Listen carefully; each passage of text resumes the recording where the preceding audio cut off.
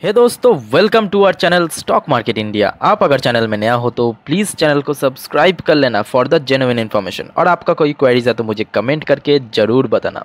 तो दोस्तों, आज है सिक्सटीन ऑफ़ दिसंबर और आज की डेट में सबसे ज़्यादा जो हाईलाइटेड स्टॉक था वो था मैजेस्को क्योंकि कल 15 दिसंबर को मैजेस्को ने रिकॉर्ड तोड़ डिविडेंड दिया है। नौ सौ का डिविडेंड दिया है। बट उसके बावजूद भी, आज की डेट पे अगर आप नोटिस करोगे तो मैजेस्को के शेयर प्राइस में कोई मूवमेंट ही नहीं हुआ। थोड़ा बहुत गिरावट में डाउन में आज क्लोजिंग दिया। इसका कारण क्या है? रीज़न मैं आपको पूरा प्रूफ के साथ समझाऊँगा। और उसके साथ साथ दोस्तों, मैं रिटेल निवेशकों के लिए बोलना चाहता हूँ, यहाँ पे आपको बहुत ज़्यादा चौकन्ना रहना है दोस्तों। बी अलर्ट क्योंकि ये एक ट्रैप है दोस्तों। आप, और आपको ये ट्रैप में फंसना नहीं है। तो दोस्तों प्लीज़ वीडियो को बिना स्किप के पूरा अंत तक देखना, ताकि आपको अच्छे से समझ आए। तो दोस्तों, अगर आपके पास ट्रेडिंग करने के लिए डीमेट अकाउंट नहीं है तो अपस्टॉक जैसे बड़े प्लेटफॉर्म में डीमेट अकाउंट ओपन कर सकते हैं, जहाँ पे आपका ब्रोकरेज फ़ीस ना के बराबर लगता है। लिंक आपको वीडियो के नीचे डिस्क्रिप्शन बॉक्स में मिल जाएगा।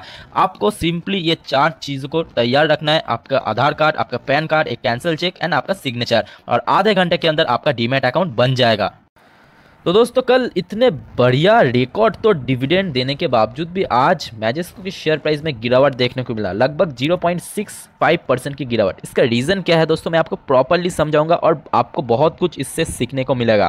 प्लीज़ आप बहुत ही ध्यान से समझना दोस्तों। यहाँ पे आप देखिए, सबसे पहले इसका मैक्सिमम चार्ट पैटर्न हम देख लेते हैं।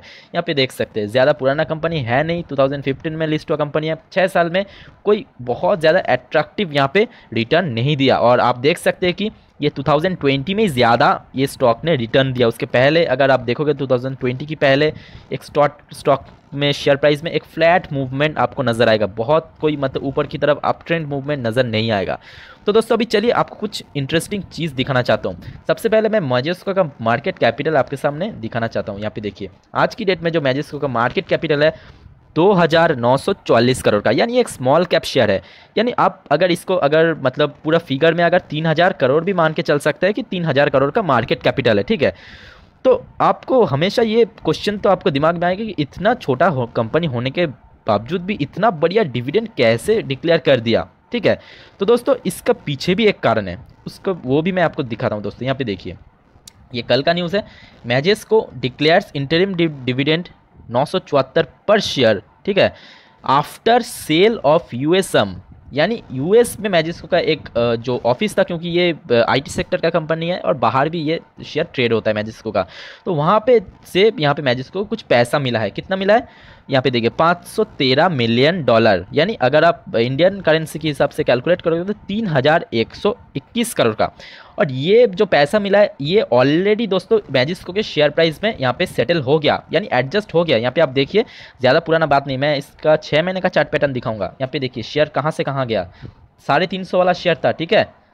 साढ़े तीन सौ का शेयर अभी नौ सौ छिहत्तर, यानी छः महीने में तीन गुना तीन गुना रिटर्न दिया। यहाँ पे देखिए दोस्तों लगभग तीन गुना के आसपास आपको छः महीने में रिटर्न दे दिया। यानी ये जो यूएस के तब यहाँ पे जो यूएस ऑफ़िस बेच के यहाँ पे जो पैसा मिला था एसेट बेच का जो पैसा मिला था मैजिस्क को, वो ऑलरेडी इसके जो शेयर प्राइस है, ठीक है, इसका मार्केट कैपिटल है, उसमें सेटल हो गया, ठीक है।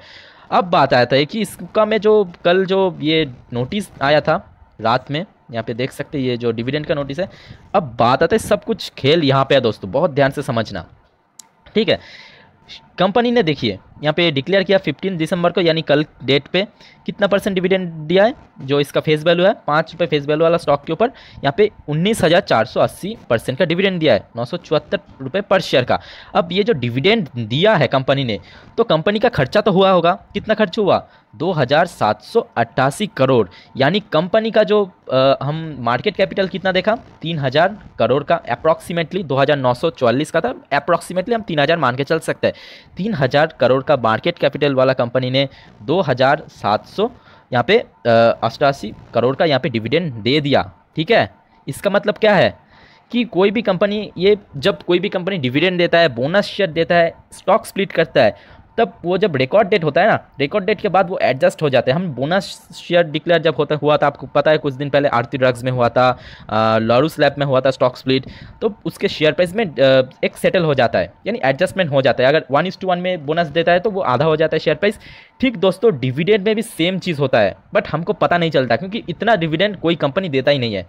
जनरली अगर नॉर्मली देखा जाए तो पाँच दस रुपये का डिविडेंड देता है और वो इतने बड़ी कंपनी इतना बड़ा मार्केट कैपिटल तो उसमें कोई फ़र्क नहीं पड़ता शेयर प्राइस में, ठीक है? बट ये कंपनी में, ये शेयर प्राइस में फ़र्क पड़ेगा, क्योंकि तीन हज़ार करोड़ का एक कंपनी ने 2700 के ऊपर, मैं 2800 पकड़ के चलता हूँ 2800 करोड़ का यहाँ पे डिविडेंड डिक्लेयर किया है। मतलब टोटल जो कंपनी का खर्च होगा तो बाकी रहेगा कितना? 200 करोड़ का, ठीक है? तो ये डिविडेंड जब एग्जीक्यूट होगा रिकॉर्ड डेट के बाद, आज की डेट में जो इसका शेयर प्राइस चल रहा है लगभग नौ सौ पचहत्तर के आसपास, आज की डेट का जो करेंट मार्केट प्राइस है, नौ रुपए के आसपास, ये भी उतना ही कम हो जाएगा दोस्तों। डिविडेंट जो रिकॉर्ड डेट पे आउट के बाद ये जो शेयर प्राइस है, वो उतना ही कम हो जाएगा। यानी आपको ये फिगर जो आज दिखने को मिल रहा है 975 का, ये जब रिकॉर्ड डेट के बाद दोस्तों, ये लगभग 50 के नीचे आ जाएगा, ठीक है? 30-40 रुपए पे आ जाएगा। और उसका कारण क्या है? मैं आपके साथ शेयर कर दिया। उसके बावजूद भी आपको यहाँ पे निवेश करना है तो दोस्तों ये पूरा का पूरा आपका डिसीज़न है। मैं तो बोलूँगा, ये सब शेयर में आपको बिल्कुल भी पैसा इन्वेस्ट नहीं करना है। हाँ आपके मतलब आपका अगर टारगेट बहुत ज़्यादा लॉन्ग टर्म के लिए, बहुत ज़्यादा लॉन्ग टर्म के लिए, तब आप इसमें एक दो शेयर बहुत ज़्यादा नहीं दोस्तों, क्योंकि ये पूरा का पूरा ट्रैप है। आपको यहाँ से बच के रहना चाहिए। आईटी सेक्टर में बहुत बढ़िया कंपनियाँ दोस्तों। इन्फोसिस टी में कल इन्फोसिस के ऊपर भी वीडियो बनाया, जहाँ पर आपका पैसा सेव भी रहेगा और आपको अच्छा खासा रिटर्न भी मिलेगा लॉन्ग टर्म में। तो वो सब कंपनी में आपको इन्वेस्ट करना चाहिए। भले ये सब कंपनी ये सब मैजिस्को टाइप का कोई भी कंपनी में कितना भी ज़्यादा डिविडेंड दे दे, आपको डिविडेंड के चक्कर में नहीं पड़ना है दोस्तों। मैं बार बार बार बोल रहा हूँ, ये एक ट्रैप है, ठीक है? और ये ट्रैप के, और ये जो चीज़ है ना, ये जो डिविडेंड डिक्लेयर किया, और ये जो कारण है, इस कारण के चलते आज इसके शेयर प्राइस में कोई भी तेज़ी दिखाई नहीं दिया। यही है प्रॉपर रीज़न दोस्तों। तो दोस्तों चलिए आज एन के ऊपर क्या कारोबार हुआ है, वो भी हम देख लेंगे। देख सकते हैं। आज शेयर प्राइस ओपन हुआ था नौ सौ यानी जो प्रीवियस डे क्लोजिंग था नौ सौ में, उसका थोड़े ही ऊपर ओपन हुआ था। वहीं पे हाई टच किया ओपन इज़ गोल्ड हाई था लो टच किया नौ रुपये पे। जो मैंने अभी बोला आपको कि जितना डिविडेंड दिया, उतना सेटल हो जाएगा। रिकॉर्ड डेट के बाद, ठीक है? तो ये नौ सौ चौहत्तर के नीचे नहीं गया, आप देख सकते हैं। और जो लास्ट ट्रेडेड प्राइस निकल कर रहा है, नौ सौ का, लगभग zero point six five percent की आज गिरावट रहा। बाइंग साइड में थोड़ा बहुत यहाँ पे हज़ार क्वांटिटी की आसपास यहाँ पे ए मॉडल लगा हुआ है। बट कल भी मुझे लगता है कि इसी रेंज बॉन्ड के अंदर मैजिस्को के शेयर प्राइस ट्रेड करते हुए नज़र आ सकता है। तो आज टोटल जो नंबर ऑफ़ शेयर ट्रेड हुआ है, अट्ठाईस लाख सैंतालीस हज़ार क्वान्टिटी का total number of share trade उनमें जो डिलीवरी उठाया गया दोस्तों लोग यहाँ पे ये सब मतलब डिविडेंड को देख के बहुत लोग यहाँ पे डिलीवरी उठाया आज बहुत लोग। इक्कीस लाख चालीस हज़ार क्वांटिटी का शेयर यहाँ पे डिलीवरी उठाया जा चुका है। टोटल जो डिलीवरीबल परसेंटेज है seventy five point three two का परसेंट तो दोस्तों एट द एंड आपको यही बोलना चाहूँगा कि इस टाइप का शेयर में इस टाइप का जो ट्रैप मैं बोलूँगा एक, एक तरह सा ये टैप है ये ट्रैप में आपको फंसना नहीं है। ये सब बस आप एक्सपीरियंस कीजिए। यानी दूर से देखिए, क्या होता क्या है एक्चुअली ठीक है, उसके बाद दोस्तों आप देखना, मज़ा आएगा कि वो लोग यहाँ पे ट्रैप में फंस जाता है दोस्तों। और रिटेल निवेशक यही गलती है। क्योंकि जब शेयर प्राइस में तेज़ी आ गया, फिर रिटेल निवेशक उसमें निवेश करता है, जो बिल्कुल भी करना नहीं चाहिए। तो दोस्तों होपफुली आपको समझ आ गया, मैं कह, कहना क्या चाहता हूँ और आपको प्रॉपर रीज़न दे के भी समझाया कि क्यों आपको इसमें निवेश नहीं करना चाहिए। तो दोस्तों वीडियो को यहीं पे वाइंड अप करता हूँ। वीडियो अच्छा लगे तो प्लीज़ चैनल को सब्सक्राइब कर लेना एंड वीडियो को एक लाइक करके इनकरेज करना। चलिए मिलता है नेक्स्ट वीडियो पे, तब तक के लिए टेक केयर बाय जय हिंद।